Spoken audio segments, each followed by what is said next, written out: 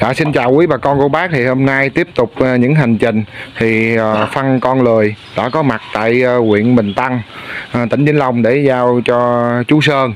Thì giao cho chú Sơn là 10 bao. Là chú Sơn ơi cho con hỏi là do đâu mà chú biết tới phân con lừa này vậy chú Sơn?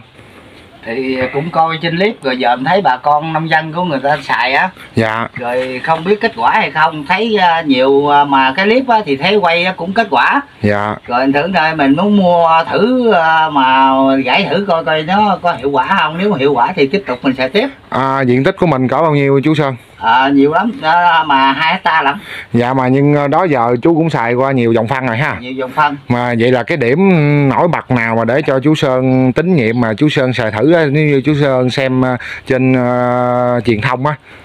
Thì à, mình thấy mình cũng coi à, nhiều cái clip để mình coi coi mình học hỏi bên à, mà cái phần phân bón nào nó xài cho vườn à, mà nó đạt dạ. Thì mình thấy cũng nhiều cái dòng phân mà giờ mình thấy cái cái dòng phân này thấy bà con người ta xài thấy cũng đạt quá. Dạ. Mình thử này cũng chưa có biết cái hiệu quả nó sao thử Dạ. mình muốn à, xài thử. Vậy là ờ, chú lấy ờ, à, trước chú lấy ờ, chú lấy 10 bao phân con lười này xài nếu như có kết quả thì À, có chú ờ, quả ủng hộ thì, mạnh à, bên ờ, mình, hiệu à, phân con lười ha. ờ thì mình à, mà tiếp tục xài nhiều. Dạ thì á, số lượng mình nó nhiều vừa mít nhỏ với mít lớn á. Dạ con cảm ơn chú thì ờ, con ờ, hy vọng là phân bón con lười này nó sẽ phù hợp với chú với đúng như những cái gì mà chú à, tham khảo trên truyền thông á? Nó nó đạt đó thì à, bà con người ta nông dân người ta khỏi cộng cộng phải à, mà nhiều mà nhiều loại phân dạ dạ, đúng rồi cái này nếu vậy là chú ờ, chú ưng ở điểm là cái này ờ, chú thay vì những cái loại phân khác thì chú phải trộn ha. À, còn loại này thì chú ưng ở chỗ là khỏi cần trộn.